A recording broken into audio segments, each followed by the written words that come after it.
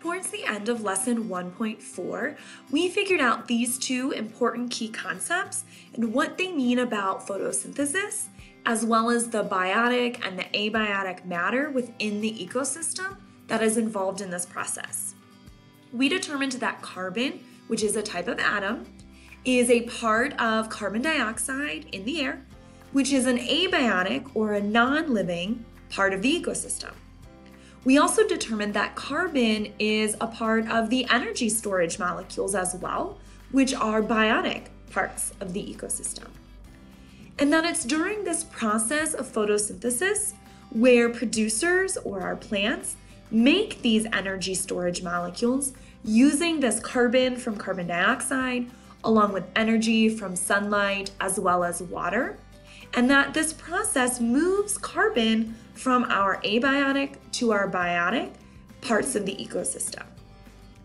And if you recall, our Econauts team did not have an ecologist as a member of their group.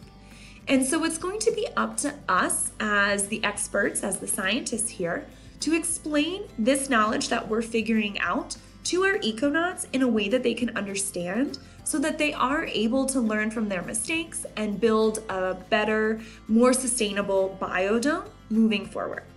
So, we're going to take a moment to model how this process of creating or developing or producing energy storage molecules in an ecosystem works.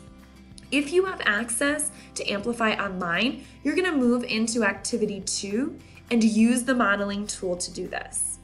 If you aren't working in Amplify Online and you're using your piece of paper in front of you, you're gonna go ahead and draw out this model, again, keeping this goal in mind, showing where the energy storage molecules in an ecosystem come from.